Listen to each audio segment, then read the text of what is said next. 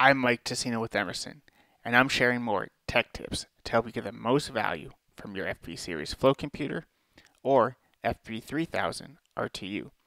Today I will be demoing how to set up an odorizer or sampler using a DO digital output with the scaled pulse output feature. Let's get started. A scaled pulse output allows for a pulse to be sent using a digital output. The scaling meaning how often the DO generates a pulse, is based on a customer configurable incremental value. For example, in odorizer applications, odorant is injected based on a certain volume of natural gas. Similarly, for samplers, customers could use the scaled pulse output to control how often sampling occurs based on the quantity of crude flowing. So the scaled pulse output feature allows customers to control how frequently a DO pulses based on the selectable increment in the fluid quantity. I have a FB1200 flow computer set up with a differential pressure meter. To find the scaled pulse output feature, I will navigate to the Configure tab, the IO Setup dropdown, and I will select the digital output selection, or DO. On the digital output display, you can select the digital output type.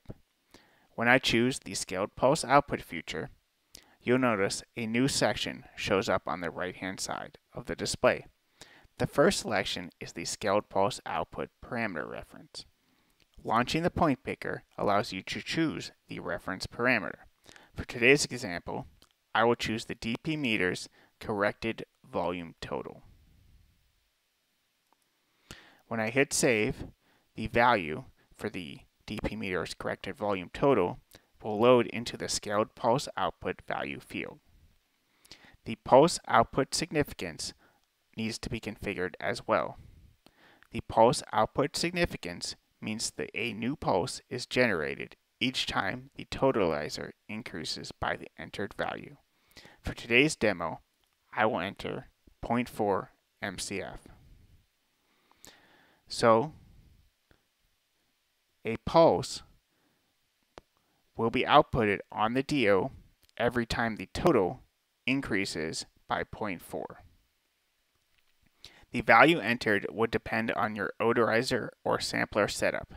We can see that the future is now working as you'll notice the number of off-on transitions is changing every time the total increases by the pulse output significance value, the DO outputs a pulse signal for the specified time on value. Now you know how the scaled pulse output could be used with an odorizer or sampler to indicate to those devices using a DO pulse output when to inject odorant or to take a sample. Thank you for your time. For more information, please visit facebook.com slash flowcomputers.